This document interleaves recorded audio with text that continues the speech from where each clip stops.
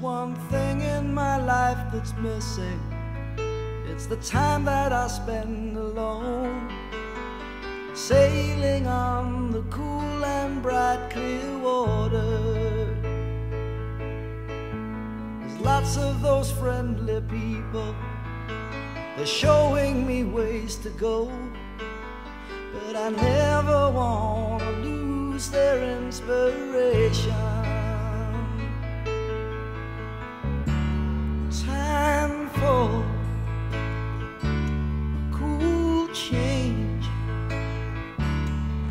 That it's time for a cool change.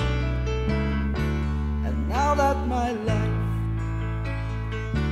is so prearranged, I know that it's time for a cool change.